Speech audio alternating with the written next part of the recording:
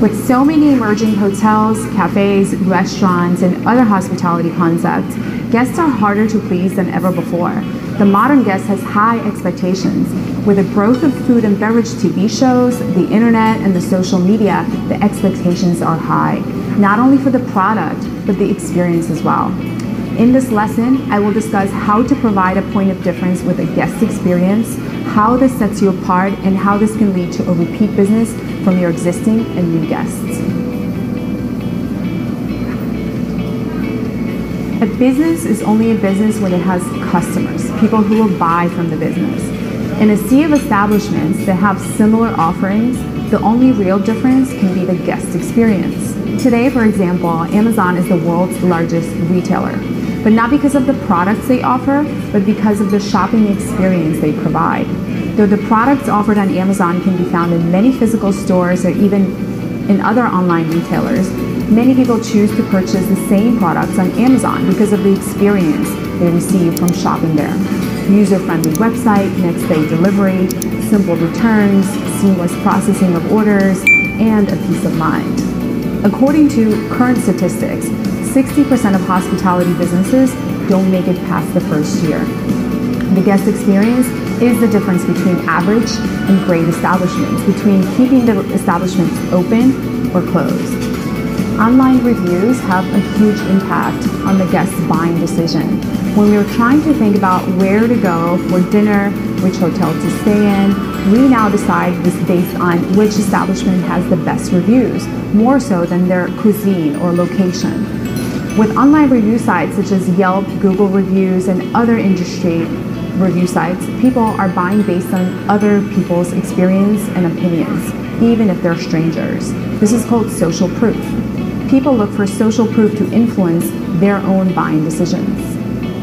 When people share positive experiences they had in your establishment, they want to repeat and relive that experience. They will relive it in two ways. One, come back to your establishment for more, and two, share their positive experience with others, friends, family, and strangers. When people have negative experiences, they will also share them to vent and to warn others from having a similar negative experience.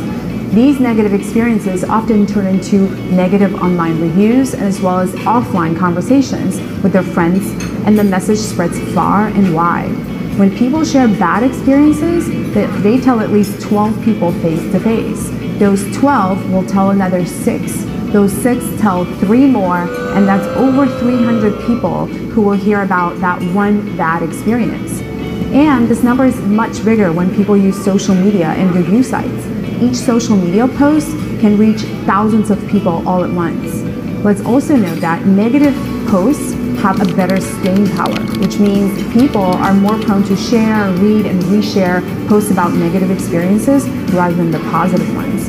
This is how one negative review can really hurt your establishment and your own bottom line.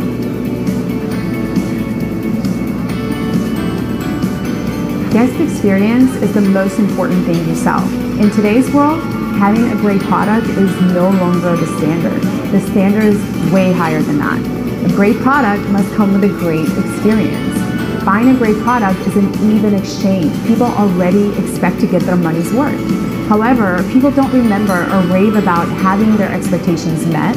They rave about extras, people, places, and experiences that blow them away. Great guest experience adds value to the purchase, or an average guest experience takes value away from it. You know this yourself. How many times have you been to a restaurant with average food but really great service, where all your needs are and wants are anticipated, where people know your name and treat you like you matter. This is probably your favorite restaurant that you go back to over and over again because of how you feel when you go there, not necessarily because they have the best food. People purchase based on their emotions, and this can't be ignored. 86% of guests purchase based on how they feel. The value of the product you offer goes up when you provide a great experience along with it. And these experiences are created through your guests' emotions. We must help induce positive emotions in our guests for them to want to come back for more.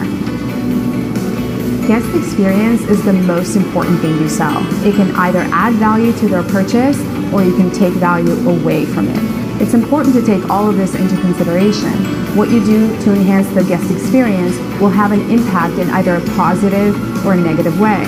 Before your next shift, go through a couple of review sites and read what your guests are saying about your company or the company you work for. Now write a list of actions that you can do to meet the guest needs. Providing a positive guest experience increases your guest count. Guests make buying decisions based on how they feel. The modern guest has high expectations and is prepared to be critical.